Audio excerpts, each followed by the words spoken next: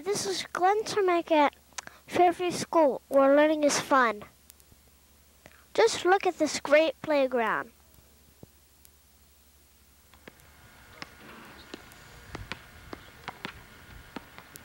Amanda,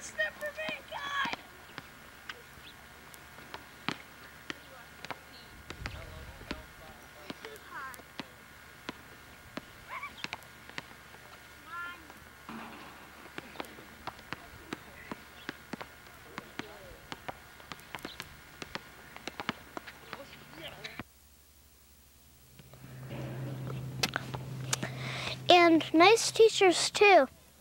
So come to Fairview. Go for success.